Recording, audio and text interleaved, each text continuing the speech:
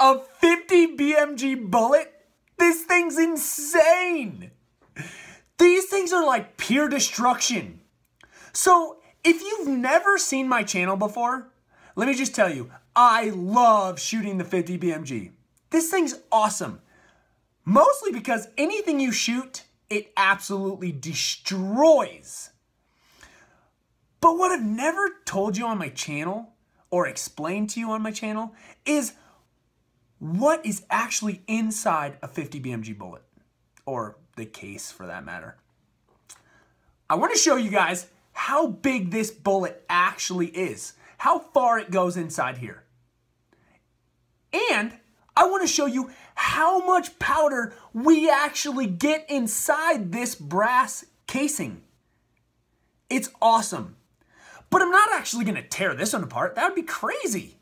Because I'm to use this in my next video to shoot like maybe some watermelons or see how many pieces of drywall. That, that's actually a really good idea. That's awesome. How many pieces of drywall this would go through? That's a great video idea. So I'm not to tear this one apart. I'm to set this one to the side, and this one's to do something great later. I do, however, have another one. Let me tell you, this one scared the out of me. Okay, if you see right there, this one has been in my gun. I pulled the trigger, and guess what? It's still got a bullet attached to it.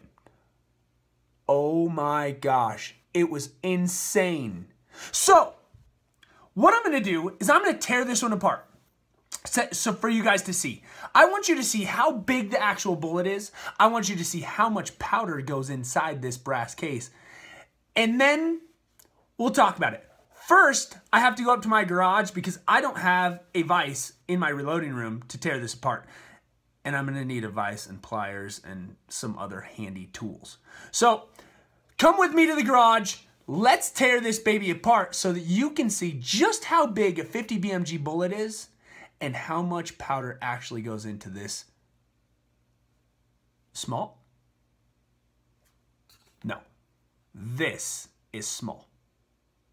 This huge brass case. Let's go check it out. We're gonna tear this thing apart so you can see just how much powder comes out of this brass case and how big this bullet really is. So what I'm gonna do is I'm just gonna grab onto this bullet and hit up on it and see if I can knock this, this bullet out of the brass. I'm just gonna hit it pretty lightly, not too, too hard. See if I can turn it maybe. Oh, I think something's happening here. Not yet.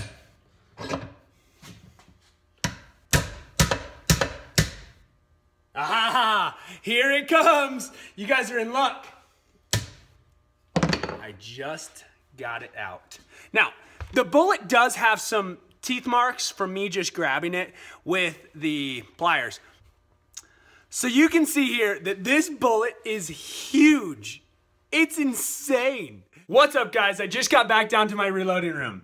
So I'm really excited to show you guys this. This is the brass that we just pulled this bullet out of.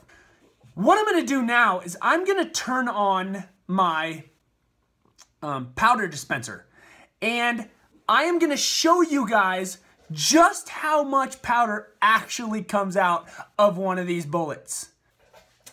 What we're gonna do here is we're gonna dump this 50 BMG brass out into the RCBS trickler so that you guys can see just how much powder comes out of one of these. Because I'm sure you're all wondering, like, how many grains are actually in a 50 BMG bullet? Okay, here we go.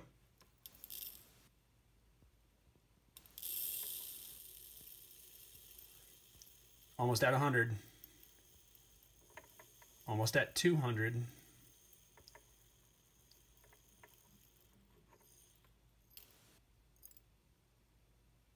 220.3 grains of powder. Okay, so we just emptied this entire 50 BMG brass case onto my RCBS scale over there. It came out to about 220 grains of powder, which is insane. If I'm not mistaken, I think you could load like 4 point something Smith & Wesson Model 500 rounds with this, which is crazy. I have no clue, on the other hand, how many 9mm rounds you could reload.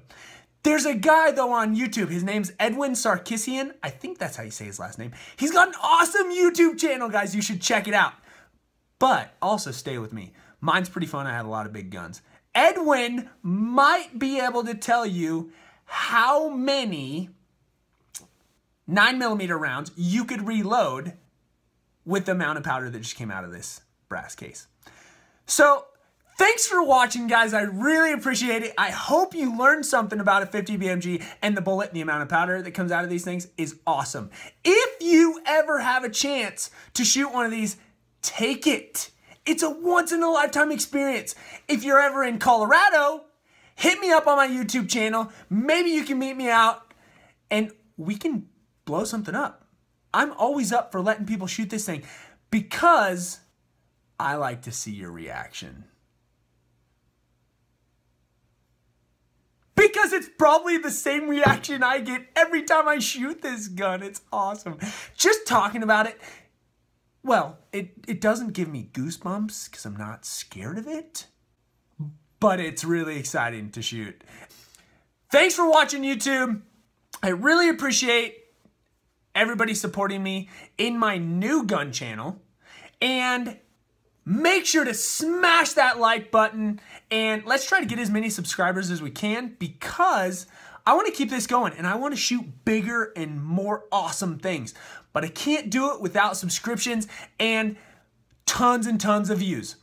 Like I said in my video though, I have some good ideas of stuff I'd like to shoot.